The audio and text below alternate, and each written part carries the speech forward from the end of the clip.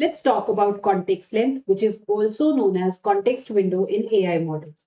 So context length is how much text, words, or tokens a model can remember at once while generating responses.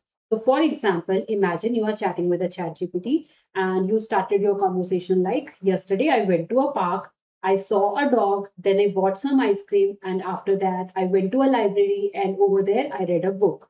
Now this conversation is very short and it can easily fit within the model context window. So ChatGPT can easily remember all the details like the park, dog, ice cream, and the library. So if you ask it later, what did I do before going to the library? Then ChatGPT can answer correctly that you went to the park and you saw a dog over there and then you bought some ice cream. But if your conversation becomes very long and if it exceeds the context length, then the LLM may forget the earlier parts. So for example, if you have a chat that has thousands of words, then it might only remember the last few hundred words.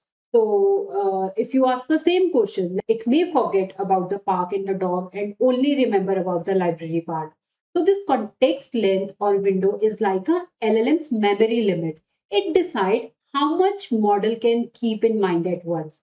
So for example, Llama 4 Scout, which is a LLM from Meta, have a context window of 10 million tokens. That means it can remember really long conversations and documents. So this context length is basically how much text LLM can hold in memory and it affects how smart the LLM responses are.